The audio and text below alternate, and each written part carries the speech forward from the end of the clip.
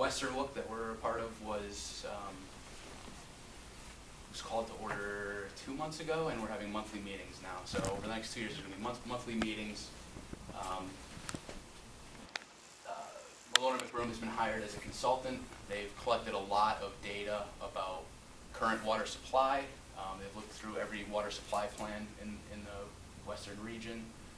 Um, and they're putting together a, um, comprehensive water supply assessment, um, of, of current, current supply and current need. Um, and that's gonna be done in, uh, it was December that that's due. And then after that, um, ESA boundaries are gonna be set up for the entire region.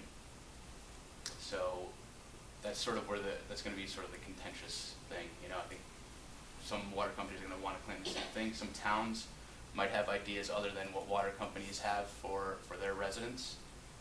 Um, and then after that, a water supply plan will be prepared for each WUCC separately, and then those three water supply plans will be combined into one statewide coordinated plan. Um, yeah, I think, you know, I think it's very important that if, if you are, or even if you're not a WUCC member, um, think it's important for your towns to be involved, or at least, um, to pay attention to what's going on here, because there could be situations where, um, you may not favor, you know, having one water company over another, or even having any water company claim your your town as, as part of their exclusive service area. Um, especially for, um, say, say Bristol and Waterbury, who have very large water supply systems in place.